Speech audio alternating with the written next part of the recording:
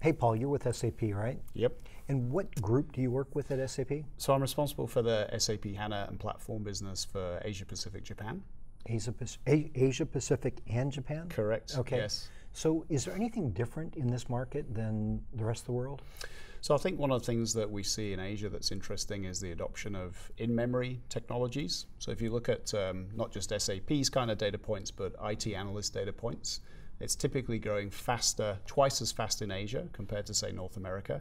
I think that's just a symptom of Asians' population. So we see, you know, significant communities and populations where you know there's a lot of data generated in retail or utilities or banking, and therefore that's driving kind of this adoption of in-memory technologies to, to replace a lot of the traditional databases so we've seen before. In-memory is hotter here than other parts of the world. I think it's hotter. I think it's a hot topic everywhere. everywhere. Um, I mean, look, I, I, am responsible for Asia, so I see firsthand this market. Yeah. Um, but there's no doubt that uh, all of the analyst um, reports indicate a faster growth rate in this part of the world. And I, I do think it's because of the nature of the businesses and the data intensiveness of the businesses in Asia, particularly in India and China, where there's just huge volumes of business transactions and data that's potentially there to be analyzed. And so, what are some of the benefits of being in memory versus just a traditional?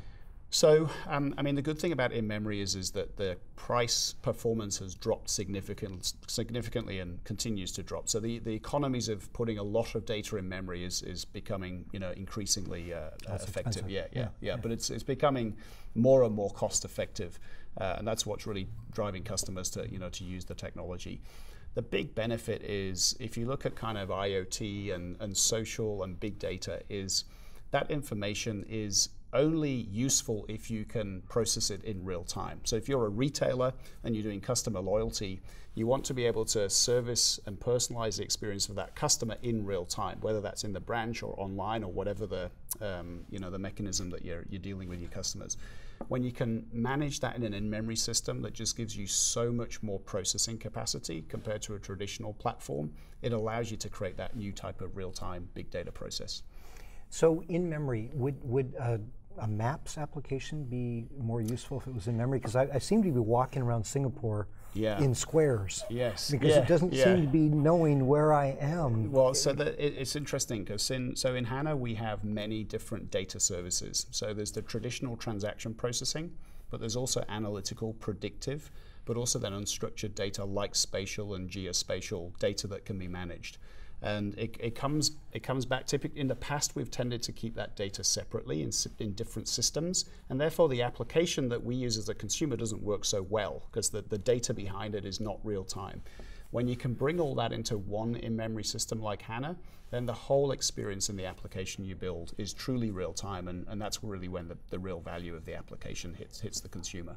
And so you also handle structured and unstructured absolutely yeah. Uh, data, yeah. right? Yeah. So whether it's um, so so one of the things we see as SAP, I mean, traditionally um, we've obviously been an applications provider for many many years. So we we manage you know um, all of the world's retailers and oil and gas and utilities companies structured data and structured business processes. I see a big divide between the data that we manage in the business applications and then this emerging big data opportunity, which is often managed separately, the unstructured information. The real value is, is when we can bring that you know, rather than two yeah, silos, yeah, bridge right. that divide and, and, bring that data together in real time, yep. so that you can make that big data useful to the business process. And, and a good example, again, if I come back to the retailer, is um, if I do my customer analysis in a platform like Hadoop, which it's very geared up and cost effective at doing, I want to be able to bring that analysis into my customer relationship management business processes. Um, now, often they sit separately. Um, at SAP, we've just announced a new technology called SAP HANA Vora, and this is based on the Apache Spark specification. And this is taking our in-memory pedigree, applying that to Apache Spark to bridge this gap between business data and unstructured data. So I can do this precision analytics on in, my big data Hadoop platform in real time, integrated with my uh, application business process. And th this really starts to let you do some interesting things in terms of real time and, and new business models, new business processes. That's Vora, V O R A. Yes, V O R A, SAP HANA Vora. Now you can you can use HANA Vora standalone on its own. You don't have to have an SAP HANA platform, but when you use those two together, HANA for your business data, Vora for your unstructured data, integrated in real time. Very, very powerful capability for doing business analytics across all your structured and unstructured information. So SAP's got quite a legacy and quite a history. So a lot of enterprise work you, you guys do with a lot of large companies. Mm-hmm. Are you seeing any industries moving quicker to data solutions like this in memory solutions? Yeah, look in Asia, I think any any big data intensive industry is, is definitely moving faster. So in the in the high tech industry, um, where you see a lot of manufacturing data, manufacturing yield data that can be off, what is often managed in Hadoop, but where it takes weeks and weeks to process that data, being able to bring that into Vora and, and do that in real time has huge business benefits around the, the actual manufacturing process. Retail, where you see tons of point of sales data being analyzed to do customer loyalty, upsell, cross sell, and customer analysis, and so on. Consumer, around things like trade promotion. Um, there's a lot of um, countries in Asia that are still deregulating their energy market.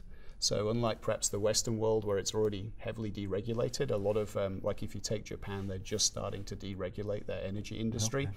And, and everything around smart meter analytics, consumer is, behavior, yeah, consumer well. behavior, yeah, looking yeah. at supply and demand of energy on the grid and so on. Telco, call data records, banking, banking transactions. So whichever of those industries you look at, there's, there's a lot of data. Uh, too often it's been managed in silos. Um, so what our objective is is to bring that together, bridge that gap, to then really drive the, the real-time business insight in a single application. If we had this conversation a year from now, what will change for SAP and the data world, and specifically in Asia? Yeah, look, I think in the next 12 months we're going to see uh, just more and more adoption of things like cloud technology. We've already seen cloud as a as an increasingly preferred consumption model. It's just so easy to start doing projects in the cloud versus managing your own data center. Um, so we have a capability called the HANA Cloud Platform. So this is our HANA plus our wider um, platform solutions that's available in the cloud. You can literally go to hcp.sap.com and within two minutes you're up and running with your own development environment. So it's great um, to have that for our HCP for HANA Cloud Platform. Correct. Okay. HCP.sap.com. Okay. So we're seeing huge adoption of um, cloud as a consumption model. Really, again, customers looking at how do I bring business value faster versus being my own data center Mm-hmm. kind of organization, right? So, so, so doing what you're best at, building the business content, and leaving the data center management to someone else. So I think what we'll see is just you know, more data, more big data applications will emerge. So we're seeing things like um, repeatable use cases now, so predictive maintenance, for example, in heavy asset intensive industries, connected logistics, connected manufacturing. These are big data use cases where we're packaging and creating applications, whether you deploy those on premise or in the cloud. I think we'll see more of those applications. Um, and I just think the the adoption of cloud around IoT will just have to will have to gravitate yeah. into the cloud, just yeah. in terms of the edge and the to connectivity to the network. Yeah. yeah, yeah. We look forward to that journey and hope we work with you on that journey. Thank you very much, Thank Mike. You. Pleasure to be here.